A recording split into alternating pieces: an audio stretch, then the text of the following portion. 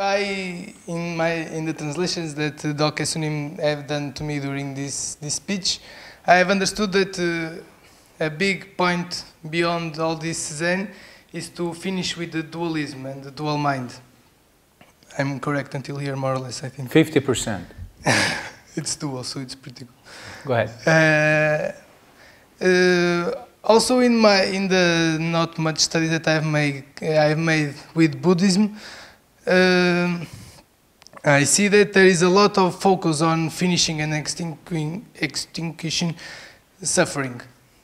And for me, this makes me a lot of confusion because uh, if the point is to finish the dualism and uh, you are just focusing on one pole, which is the suffering, it's like. Uh, so I ask, why don't you try to finish with joy at the same time? Or the opposite, or if you want to keep joy, why do you don't want to? What you mention is actually classic Buddhism.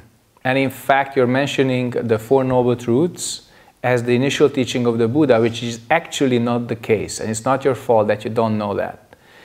When the Buddha started to teach, he wanted to begin with the Avatamsaka Sutra. That's a one liner.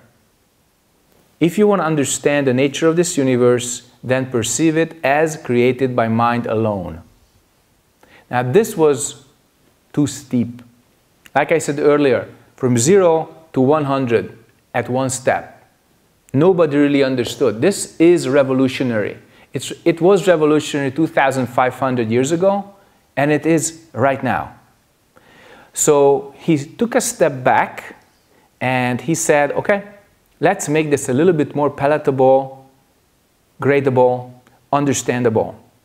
So he posited something that everybody understood that there is suffering, that we are impermanent, we are bound to causes and conditions, we are imperfect, etc., etc.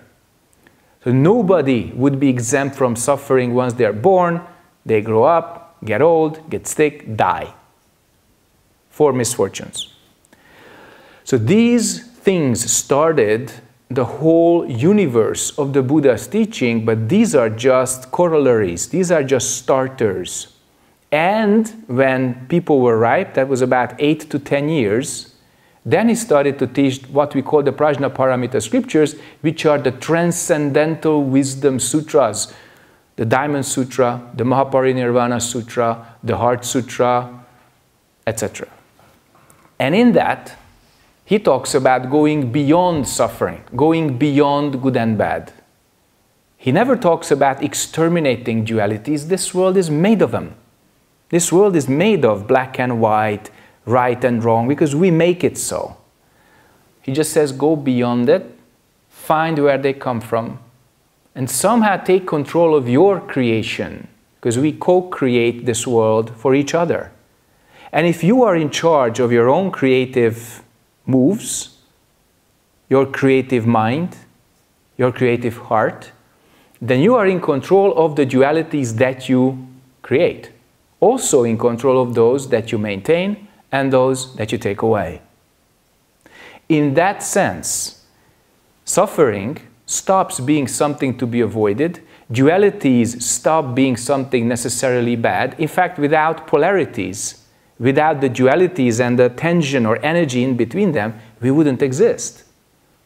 So the advanced form of the teaching says, go beyond whatever is eyes, ears, nose, tongue, body, and mind, or form, feeling, perception, impulses, consciousness, like in the Heart Sutra. That's the five skandhas, the five building blocks of our personality. Go beyond it. Attain a mind which is above all that. And from that mind clarity or no mind, you can have a very, very clear path. Then your creation is clear. You're maintaining your creation, also clear. And taking away what you do not want to maintain anymore, that's also clear. With this, you become one with the world. Then you can help other beings, other beings who are still tied and bound by their own causes and conditions, their own identity, their own attachments, etc., etc. So I think this should make the picture a little bit more complete. That's why we practice this point. This point is neither good nor bad, neither enlightenment nor suffering. So Zen actually takes a very big step, and when it joins Taoism, which took hundreds of years, in fact, then it really goes beyond the, I would say, textual teaching of the sutras. So the four basic principles of Zen is do not depend on the scriptures, directly pointing to human mind, attain your true nature, thereby become Buddha, and transmission from mind to mind outside the forms. Now, these four principles of Zen are basically the foundations that make Zen into Zen. And I think then there's plenty of transcendental wisdom and what you need. And then dualities are happy as they are, and you're happy as you are. Okay? Cool. Thank you very much. You're welcome.